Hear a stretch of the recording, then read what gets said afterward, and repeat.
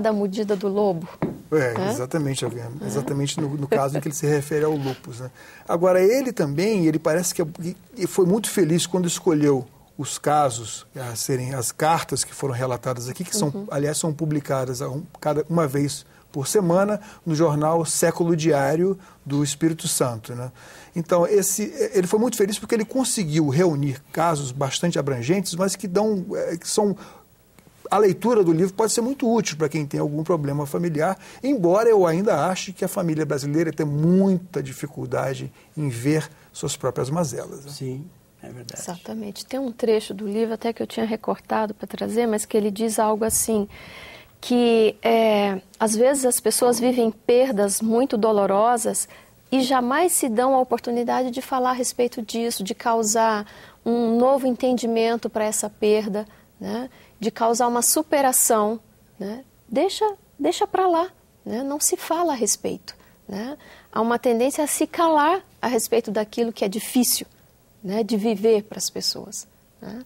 E eu acho que realmente o livro ele é um uma possibilidade das pessoas virem que é, tá aí, tá para todo mundo. Se quiser falar, se quiser se questionar, é possível. Mas é preciso querer. Né? Preciso querer. E acho que em cada um desses, desses textos que ele trata, ele fala um pouco disso. Né? Quer dizer, em alguns casos, ele pede para as pessoas: né? busque um psicanalista, vá falar a respeito dessa sua questão. Né? Para se entender. A gente não muda quando decide mudar. A gente muda quando entende. Ou né? seja, a pessoa, como diria o Ortega Gasset, o filósofo espanhol, nós somos nós e a soma de circunstâncias que nos cercam. Se nós nos sentidos, sentimos premidos pela circunstância, aí nós procuramos. Mas e quem não tem, quem não tem acesso, porque, por exemplo, a diarista, que tem uma, que já é mãe de dois filhos que não tem pai, e que ela vê uma, a filha reproduzir a mesma história dela que se vê diante da filha adolescente, surge grávida, e ela pergunta, o que, que eu faço? A filha, a filha quer abortar, inclusive. Ele Mas não... acho que a questão não está em quem não tem, né? porque senão a gente tem um lado de quem tem também né? quem tem condição de buscar uma psicanálise. Porque quem não tem condição financeira também pode buscar. Né? Se ela entende que é por ali que ela pode abrir uma porta, como Nazar repete várias vezes no livro dele, né? uma, é, achar uma outra saída para a vida dela, né? É, nisso que ele repete algumas vezes também, sair dessa posição de vítima né? e fazer alguma coisa diferente, inventar alguma coisa de diferente, de parar de sofrer, né, ela tem acesso. Né? Nós temos na escola lacaniana, e todas as instituições de psicanálise oferecem isso, que a gente chama da clínica escola, né, que são pessoas que são encaminhadas aos psicanalistas da escola, né, e essas pessoas vão combinar um valor que elas conseguem pagar. Né. Muitas vezes é uma taxa, né, mas é possível por aí. Né. Agora, isso diz né, de, das pessoas que têm condição e não procuram. Né? acho que a gente tem uma ideia de autossuficiência. Né? O problema é meu, sou eu que tenho que resolver. Ou às vezes, não, não tem problema. Né? É. Aliena, é... né? Ou aliena, ou então entra numa espécie de fuga. E a gente, a gente não querer também... falar, porque, só para concluir, a psicanálise, ela se sustenta nisso que o Nelson Rodrigues diz, a vida como ela é, a psicanálise se sustenta em um dizer das coisas como elas são, e não de como a gente gostaria que fosse. Né? Então, quando a pessoa diz eu não tenho problema. Só de posse de uma visão, digamos assim, concreta e real das coisas é que nós podemos agir melhor para solucioná-las. Uhum. Eu queria fazer um comentário sobre essa novamente a questão da ousadia que você falou, porque é, é, é eu, convivo com o Nazar há mais de 20 anos. Nazar foi foi um pioneiro da, do, do, lacanismo em Brasília. Ele uhum. trouxe é, de alguma maneira através da condução de análises, a, a psicanálise pra, a lacaniana para Brasília.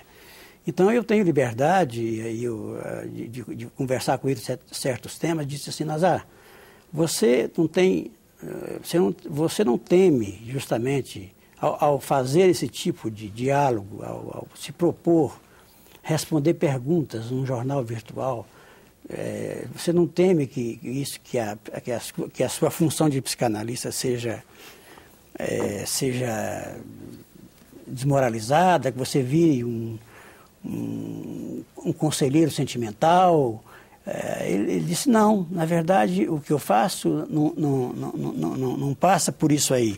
E é, eu, eu me convenci de, de que ele estava certo quando eu coloquei alguns desses livros dele na minha antessala, onde eu atendo.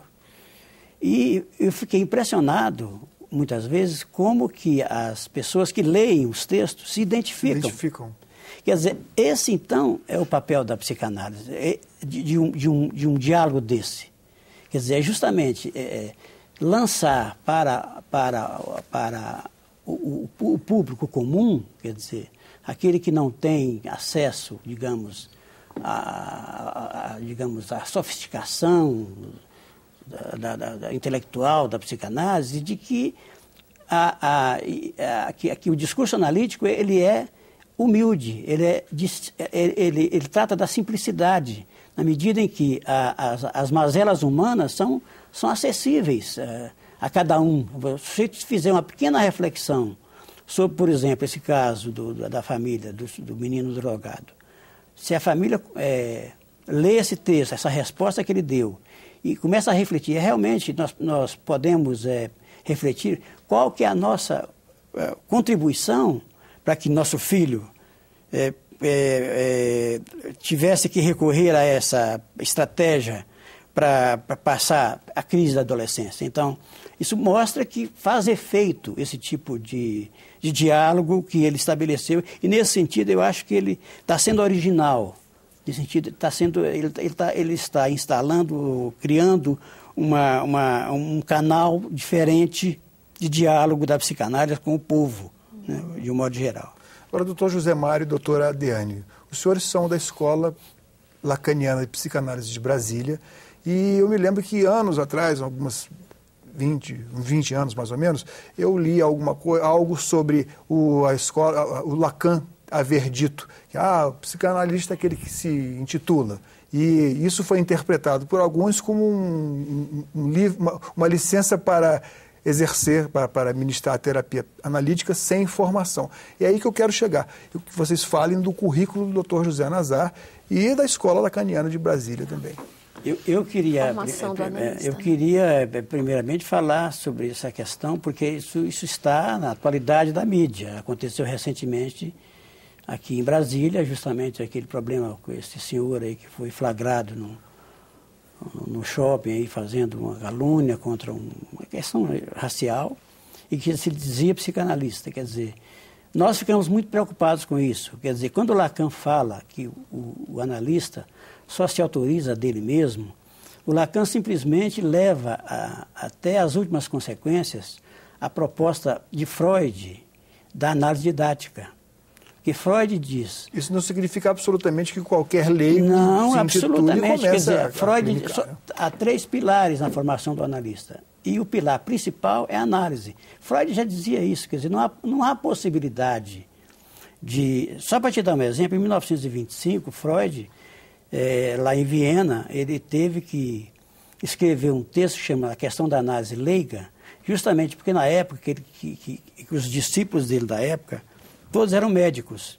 Quer dizer, a psicanálise era um privilégio de exercício do, da medicina, do médico. Uhum. Mas, mas Freud não concordava com isso. Ele dizia qualquer sujeito que passe por uma análise e leve a sua análise até o fim, ele está autorizado a ser analista. Essa é a premissa fundamental de Lacan, quando ele fala que o analista só se autoriza dele mesmo. A questão é que se banalizou isso, se tomou isso até maldosamente, né, de, forma, de forma uh, perversa, para todo mundo, de, vir, virou uma festa. É. E só colocar uma plaquinha, que são os analistas, não é assim. E contrário, o, que ele, o que ele estava é, tentando tirar era essa ideia de que ao você, ao se fazer é, cinco anos de, de formação teórica, né, é, e ler tantos seminários, né, tantos textos, né, e obter um diploma, né, isso te autoriza a ser um psicanalista. Né? O Lacan vai dizer que um psicanalista se dá no divã, né, nessa passagem de analisando para analista. Né? Ele sai desse lugar de analisando né, porque ele faz esse percurso de uma análise pessoal, ele vai lá falar, ele vai lá tratar das próprias questões e ele vai alcançar nesse lugar, né, nessa passagem de analista, é, algo que a gente chama de é, o desejo do analista, né, que depende, que depende, acho que isso é muito importante, de que esse sujeito tenha feito o luto de si.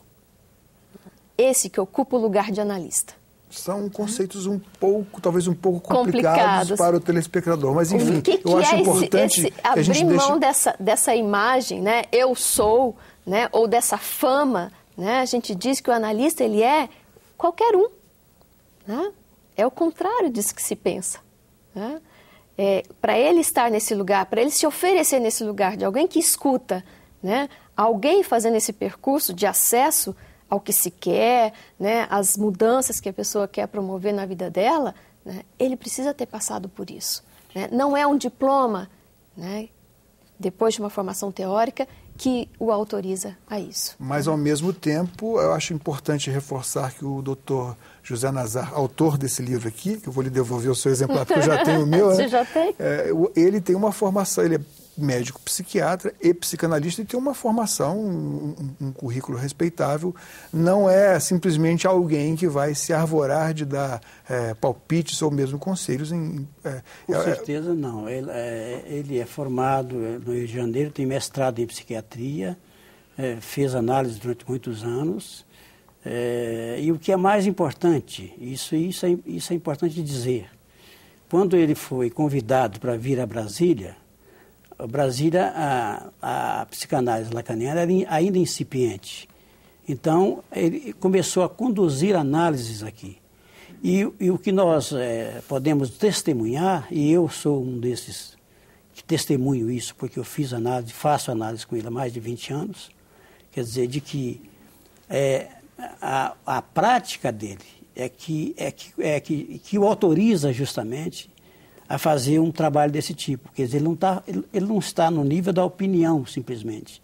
No nível do, do, do, do palpite, ou mesmo da, da, da digamos, da, de, da, da, perversão de, de, de dar, ou, aconselhar esse ou aquele caminho para fulano ou ciclano. Na verdade, o que ele está apontando nesses, nessas respostas que ele dá a esses sujeitos que fazem perguntas a ele, apontando aquilo que a psicanálise pensa sobre as mazelas humanas, sempre na tradição freudiana, de que a, a, o, o, sujeito humano ele é falho, ele tem, ele, ele é, ele é, é, Freud fala em castração nesse sentido, no sentido da falha humana, quer dizer, ele é, ele é, ele está sujeito ao sofrimento.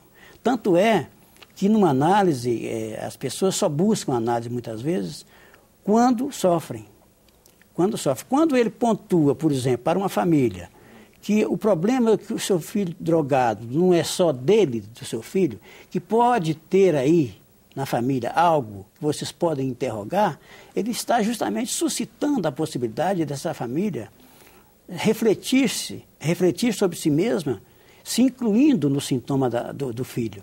Dizer, e essa é uma visão absolutamente é, é, psicanalítica, porque inclui justamente o sujeito no seu próprio sofrimento. Agradeço mais uma vez a presença de vocês aqui no estúdio.